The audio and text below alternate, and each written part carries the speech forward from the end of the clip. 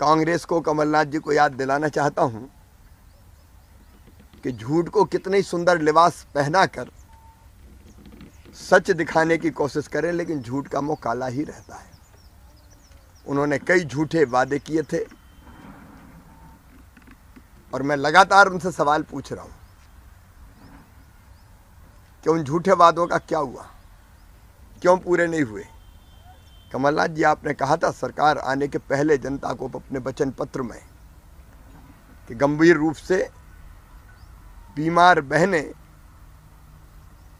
जो काम करने की क्षमता खो चुकी है, उनको जीवन भर भरण पोषण के लिए योजना बनाएँगे। आपने वादा तो कर लिया, वोट भी ले लिए थे, लेकिन पूरा क्यों नहीं किया?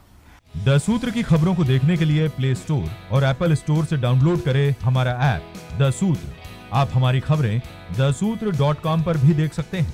Social media platforms Twitter Facebook और इंस्टाग्राम पर भी हमें फॉलो कर सकते हैं। साथ ही यूट्यूब पर भी हमें सब्सक्राइब करें। यदि आपकी नहीं हो रही कोई सुनवाई और आपके पास है कोई खबर तो हमारे WhatsApp number seven double zero double zero two four one four one पर भेजिए और बनिए हमारे सूत्र।